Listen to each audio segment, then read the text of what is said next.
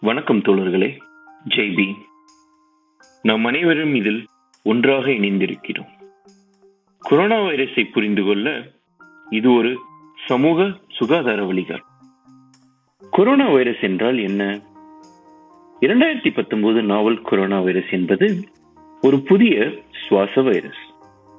இது இதற்கு முன்பாக அடையாளம் காணப்படவில்லை. இது கொரோனா வைரஸ் எனப்படும் பரந்த வைரஸ்களின் குடும்பத்தை சேர்ந்தது.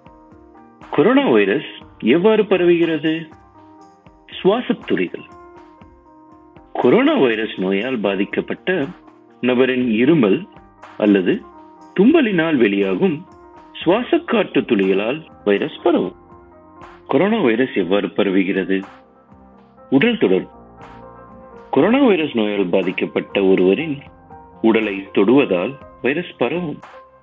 கொரோனா வைரஸ் எவ்வாறு பரவுகிறது? பொருள்கள் மற்றும் மேற்பரப்பு.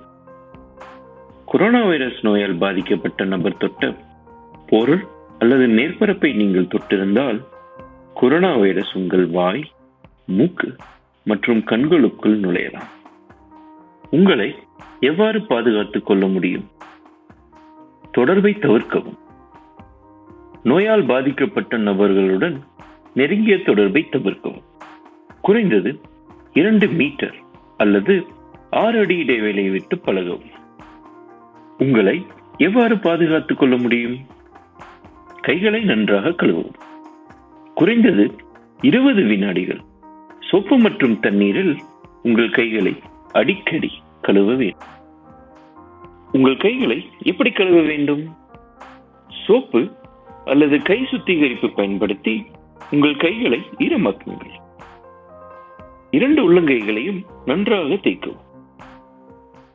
ஒரு உள்ளங்கையை மற்றொரு கையின் பின்புறம் தேய்க்கவும்.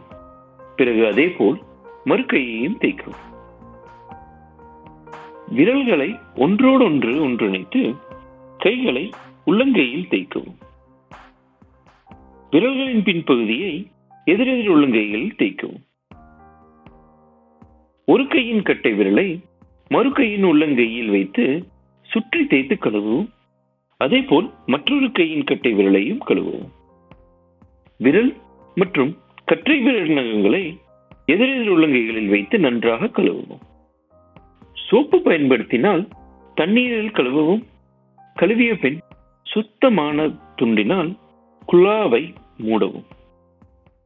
கை சுத்திகரிப்பை பயன்படுத்தினால் கைகள் உலர்ந்தவுடன் அவை பாதுகாப்பாக இருக்கும்.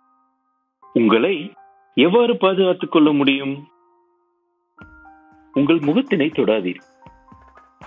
கழுவப்படாத கைகளால் உங்கள் கண் மூக்கு மற்றும் வாயை தொடுவதை தவிர்க்கவும். உங்களை எவ்வாறு பாதுகாத்துக் கொள்ள முடியும்? சுத்தம் மற்றும் கிருமி நீக்கம். அடிக்கடி தொடும் பொருள்கள் மற்றும் மேற்பரப்புகளை கிருமி நாசி பயன்படுத்தி சுத்தம் செய்யுங்கள். அறிகுறிகளை கவனிக்கவும்.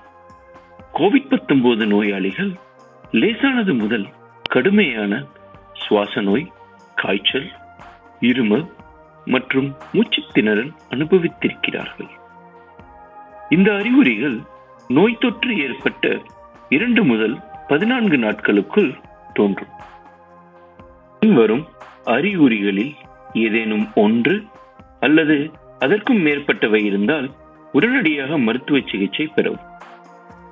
சுவாசிப்பதில் சிக்கல் தொடர்ச்சியான வலி அல்லது மார்பில் அழுத்தம் குழப்பம் அல்லது தூக்கத்தில் இருந்து எழுந்திருக்க இயலாமை உதடுகள் அல்லது முகம் நீல நிறத்தில் இருந்தால் அதிக காய்ச்சல். சமூக தொலைவு என்ன செய்கிறது? அது நோய் தொற்றும் சங்கிலியை உடைக்கிறது. உங்களுக்கும் மற்றவர்களுக்கும் இடையில் அதிக இடைவெளி இருந்தால் வைரஸ் பரவுவது கடினம். அது வைரஸ் பரவலின் வேகத்தையும் அளவையும் குறைக்கிறது. வருமன் காப்பது பயனுள்ளதாக இருக்குமா? முந்தைய நோய் உலகத் தொற்றிலிருந்து கற்றது. மக்களிடையே சமூக தூரம் செயல்படுத்துவது நோய் தொற்றின் பரவலை கணிசமாக குறைக்கும். இறப்பு விகிதங்களையும் குறைக்கும். வளைவை தட்டையாக்குவதும் தொடர்ந்து நோயாளிகளின் அளவை குறைப்பதை குறிக்கும். தனிமை தனிமைப்படுத்துதல் மற்றும் சமூக தொலைவு. தனிமை தொற்று நோயால் பாதிக்கப்பட்டவர்களிடமிருந்து பாதிக்கப்படாத மக்களை பிரிக்கிறது. தனிமைப்படுத்துதல். தொற்று நோய்க்கு ஆளான மக்கள் நோய்வாய்ப்பட்டிருக்கிறார்களா என்பதை பார்க்க அவர்களின் சமூக இயக்கத்தை பிரிக்கிறது மற்றும் கட்டுப்படுத்துகிறது. சமூக தொலைவு. சில தொற்று நோய்களை பரப்பக்கூடிய நபர்களிடையே உடல் தொலைவு இடத்தை உருவாக்குகிறது. நான் ஆரோக்கியமாக இருக்கிறேன். நான் ஏன் கவலைப்பட வேண்டும்? உங்களுக்கு தனிப்பட்ட முறையில் ஆபத்து குறைவாக இருக்கலாம்.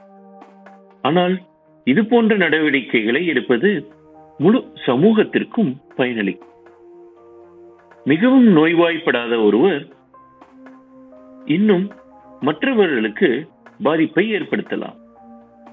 அவரது பெற்றோர் குழந்தைகள் அருகில் வசிப்பவர்கள் மற்றும் பேருந்தில் பயணிக்கும் மக்கள் உட்பட. ஆகையால் தான் வளைவை தட்டையாக்குவதும் மற்றும் இந்த உலகத் தொற்று நோயின் நீளத்தை குறைப்பதும் நம் ஒவ்வொருவருக்கும் கடமையாக உள்ளது. இது ஒற்றுமைக்கான தருணம் வெறும் தர்மத்துக்கு மட்டுமல்ல. இந்த உலகத் தொற்று நோயை தோற்கடிக்க நம் அனைவரும் ஒன்றாக தேவை. நம் மக்களின் பலர் உணவு தண்ணீர் வீடு மற்றும் தங்குமிடம் இல்லாமல் இருக்கிறார்கள். இதனால்தான் நாம் தனிமையில் கூட ஒன்றாக இணைந்திருக்க வேண்டியது அவசியம். கொரோனா வைரஸ் நோய்களின் போது அருகில் வசிப்பவர்களை பாதுகாக்க சமூக வலைப்பின்னல்கள் ஒன்று சேர்கின்றன. நம்பிக்கையோடு செயல்பாட்டிற்காக காத்திருங்கள். ஏனென்றால் இது நம் அனைவரின் ஒற்றுமைக்கும் மற்றும் ஆரோக்கியத்துக்குமான தருணம். ஜெய்பி